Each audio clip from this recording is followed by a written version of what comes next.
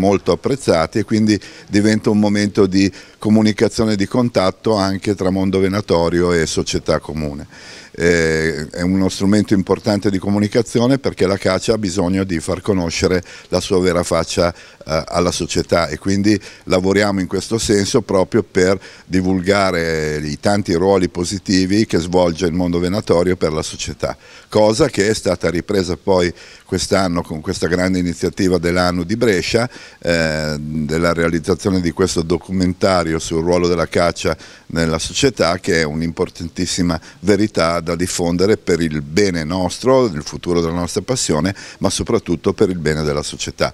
Eh, questa iniziativa fortemente voluta dall'Anno Migratoristi è giunta appunto alla diciannovesima edizione con la collaborazione anche di altre realtà come l'ambito territoriale di caccia di Brescia, il Club della Beccaccia e l'AMOF che eh, tutti uniti perseguono questo importante obiettivo per il futuro della caccia nel nostro Paese.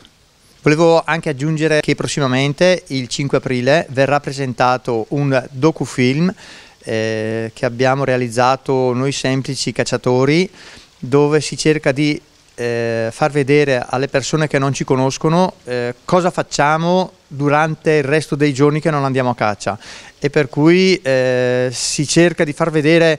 eh, sotto un'altra prospettiva che può essere molto importante e rivalutare il ruolo del cacciatore che ha nel, nel mondo. Eh, aiutiamo, faremo vedere che abbiamo aiutato sicuramente gli agricoltori, sicuramente i viticoltori con il discorso ad esempio dell'abbattimento delle nutrie, il discorso di abbattimento dei cinghiali con la nostra caccia di selezione e pensiamo che questo possa essere molto importante ma non è finita qua. Mm, nel filmato si potrà vedere il discorso di, eh, che si possono tenere i boschi e i nostri sentieri.